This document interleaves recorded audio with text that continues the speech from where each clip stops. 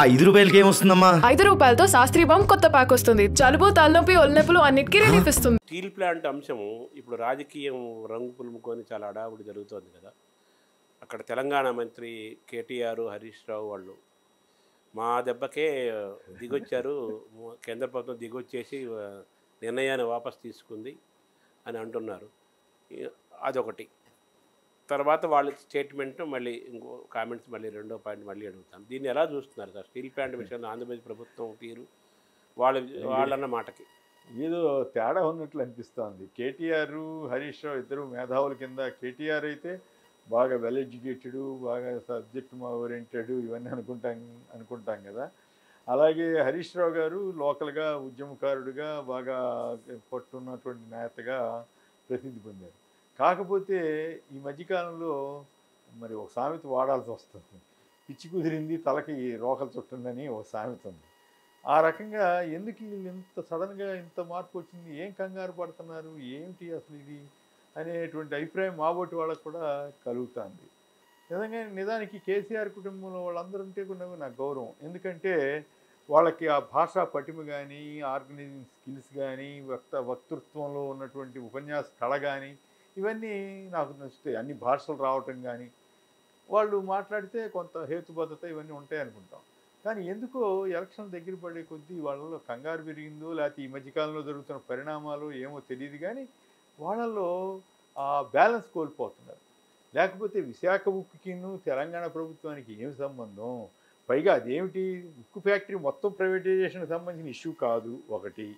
రెండు ఒక blast furnace సంబంధించి దాంట్లో దానికి అవసరమైన ముడి సరుకులు సరఫరా చేసి అక్కడ ప్రొడక్ట్ అయినటువంటి స్టీల్ ప్రొడక్ట్స్ని తీసుకోవటం. తీసుకుని ఏం చేసుకుంటారు? వీళ్ళు అమ్ముకోవాలి. సో ఈ ఈ ప్రక్రియలో సింగరేణి కాలరీస్ని ఇన్వాల్వ్ చేయాలనేది వాళ్ళ ఊరికే లీక్ మళ్ళీ మీరు గమనిస్తే నాకు ఎవరో మిత్రులు చెప్పారు నేనైతే చూడలేదు కానీ టీఆర్ఎస్ సంబంధించిన పత్రికల్లో ఎక్కడా కూడా దానికి సంబంధించి అసలు వార్తలే రాలేదంట మిగతా వాటికి లీక్ ఇచ్చారు. సో అంటే ఏంటి? టీఆర్ఎస్కి సంబంధించిన పత్రికల్లో వారు ఇస్తే అక్కడ నెగిటివ్ అవుద్దామని భయం ఏం పాడు. మీకేం పని? విశాఖపట్నం వెళ్ళి అక్కడ పెట్టుబడి పెట్టండి తెల ఆంధ్ర తెలంగాణ డబ్బులు తీసుకెళ్ళి అక్కడ ఎందుకు పెట్టుబడి పెడతారని అక్కడ వాళ్ళు విమర్శ వచ్చే అవకాశం ఉంది. అంతేకాకుండా అక్కడ నీకు సంస్థలు మూతపడ్డాయి కదా. నిజాం షుగర్స్ వీళ్ళు ఎప్పుడు హామీ ఇచ్చారండి? రెండు వేల పద్నాలుగు ఎలక్షన్ ముందు హామీ ఇచ్చారు. మరి ఇప్పుడు ఏమైంది? ఇప్పుడు ఎన్నేళ్ళు అయింది? మళ్ళీ ఇంకో ఎలక్షన్ వస్తూ ఉంది. మరి ఎందుకు చేయలేకపోయారు? ఇంత ఇంత విశాఖ ఉక్కులో బ్లాస్ట్ ఫర్నేస్ని తీసుకోగలిగిన పో- పోటుగాళ్ళు మరి నిజాం షుగర్స్ని ఉద్ధరించి ఉండొచ్చు కదా? ఎవరొద్దన్నారు? బయ్యారం స్టీల్ మీద అసలు కేంద్రంతో ఆధారపడటం ఎందుకు? ఇక్కడ నడుస్తున్న కేంద్ర కేంద్ర ప్రభుత్వం నడుపుతున్నటువంటి స్టీల్ ప్లాంట్ని సరే మీరు కేంద్రం నడపండి అని చెప్పడం వరకు తప్పు కాదు. వాళ్ళని అడగడం తప్పు కాదు జాతీయ విధానంగా ఒక అభిప్రాయం చెప్పడం తప్పు కాదు. కానీ మేము తగునమ్మా అని బయలుదేరటం పోనీ అదంటే ఏమిటి దాని అర్థం? ప్రైవేట్ కంపెనీలకి ఇస్తారండి ఉదాహరణకి.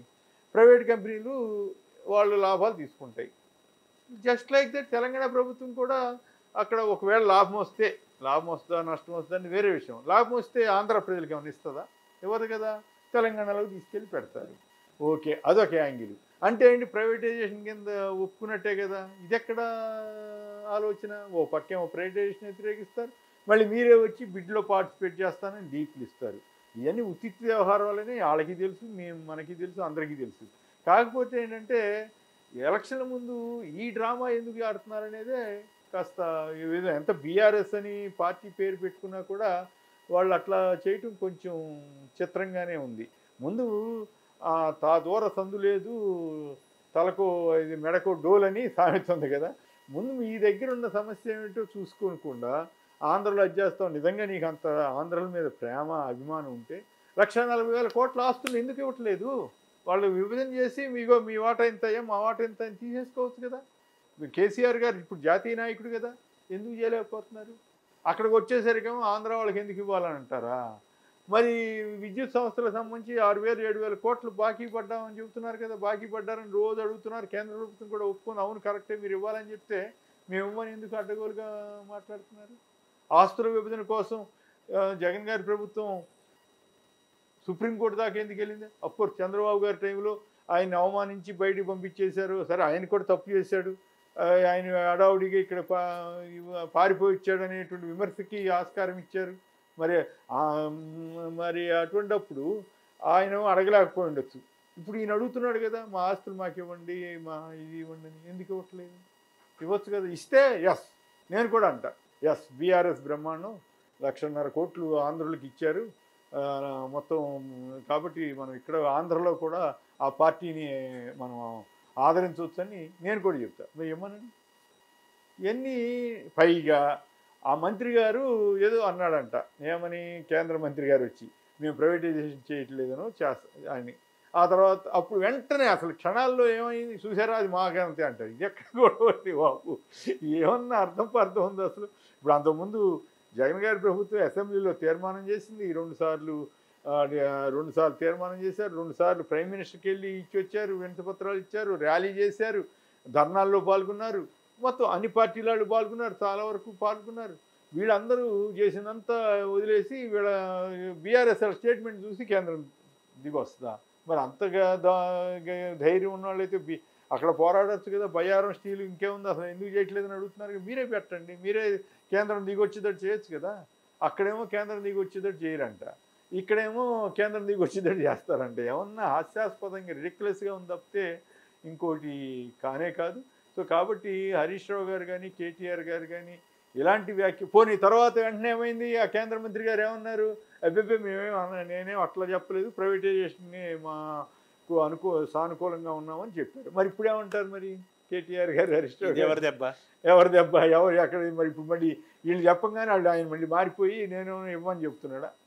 కాబట్టి మాట్లాడేటప్పుడు కొంచెం అర్థవంతంగా మాట్లాడితే మంచిది. వాళ్ళకే గౌరవం విలువ తప్ప ఇంకోటి కాదు.